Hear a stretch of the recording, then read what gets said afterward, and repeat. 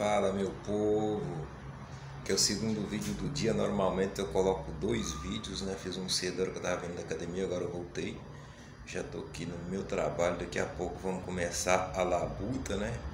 E agradecer de novo vocês que escreveu aqui no meu canal. Tem uma moça lá do Rio Grande do Sul, se eu não me engano o nome dela é Elizabeth, muito obrigado. Ela falou que é fã minha e pediu para mandar um alô para ela. Eu falei que com certeza eu ia falar.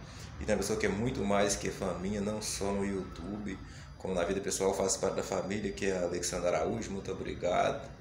E é isso aí, gente. agradeço muito. Tava tomando um café ali agora, não deu muito sorte não. O meu queijo ele, ele virou uma água, eu não consegui comer o queijo, eu tive que beber o queijo, entendeu? Já, já viu um negócio desse? O queijo ele não aguentou o calor não, eu tive que tomar ele. Também um abraço aí para o meu amigo Calango Vermelho. Esse homem a gente ainda não conhece ele direito. Diz que é um grande tecladista, segundo meu amigo Gil. Um abraço para o Gil também, Aguinaldo. ainda nunca coloquei nenhum vídeo aqui, mas o, o Gil, ele que é um tecladista ponta de orelha. O homem toca até debaixo d'água. O Pela lá do Monte Claro também é um cara muito bom.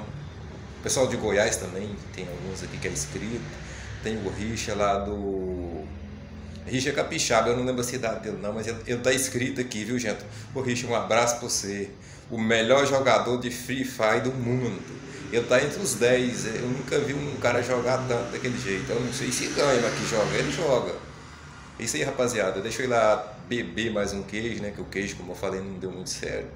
Beber o queijo e beber o café junto com o queijo. Bom dia, meu povo.